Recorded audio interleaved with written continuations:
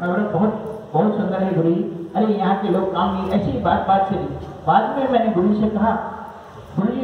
गुरु ने कहा कि जोशी, वो एक यंत्र था वो तेरे को मिला या नहीं मिला?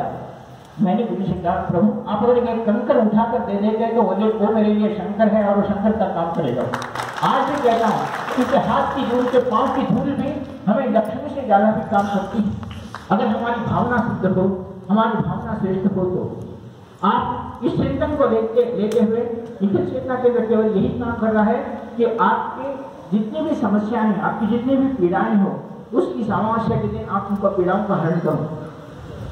मेरा एक चिंतन रहा है कि एक विशिष्ट मंत्र है, जिस मंत्र से मैं आपको आज आप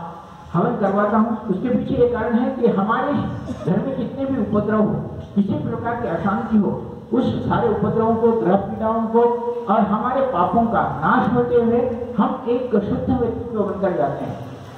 इसके लिए,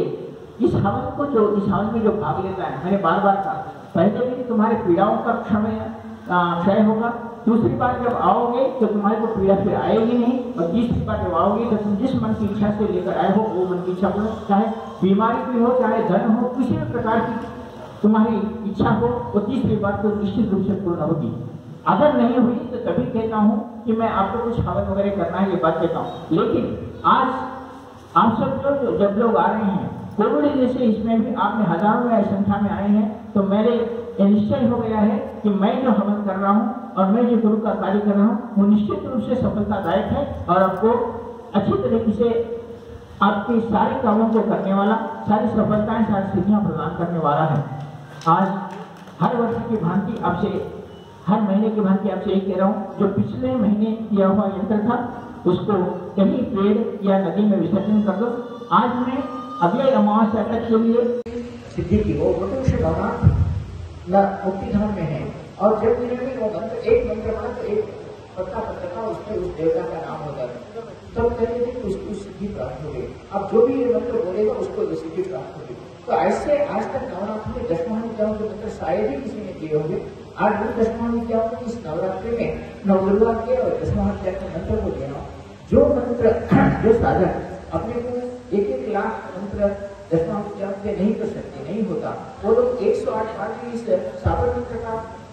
अनुष्ठान करते हैं रात्रि में तो उनको भी दसवां विद्या का वही पुण्य मिलेगा वही दर्शन प्राप्त होगा तो वैसे मंत्रों को भी मैंने देखा है कल उगाती है नवरात्रि में मैं यहाँ दसवां विद्याओं के और नौ दुर्गाओं की स्थापना करूँगा जो साधक यहाँ रह रहे हैं वो लोग उन साधनों की स्थापना करते हैं मेरा कहना यह था कि सुबह हम शैलपुत्री आदि स्कंदमाता आदि नौ दुर्गाओं के अवतार है उनके मंत्र को सुबह वेदों पर पुराणों किया हूँ उन मंत्रों को सुबह कर ले एक एक माला और शाम में